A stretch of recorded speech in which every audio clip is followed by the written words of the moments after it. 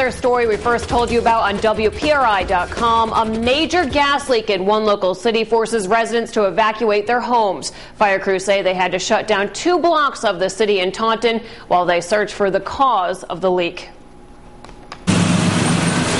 Houses evacuated and businesses forced to shut down in Taunton early Saturday after an underground gas pipe broke on Broadway, causing a major gas leak. Fire crews say even gas company workers were fearful of an explosion. This was a very dangerous situation. When the gas company tells you that they definitely have a problem here, and their guys were uh, were less uh, than hesitant to go in the building. Uh, we knew we had a major problem. For hours, Bay State gas officials and crews tried to find the source of the leak as residents on and around Broadway were forced to leave their homes. Yeah, I could smell the gas this morning. I know exactly what it was. I thought it could have been somebody's catalytic converter or something on their car, but it's pretty bad. And complicating things more, the electrical grid is underground, leaving the potential for explosions inside manhole covers. The concern, it's a very populated neighborhood with multi-family homes.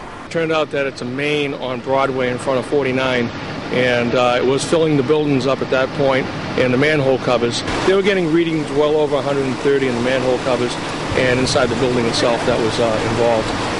And residents have since been able to return to their homes. Fire officials say the gas pipe has been restored tonight.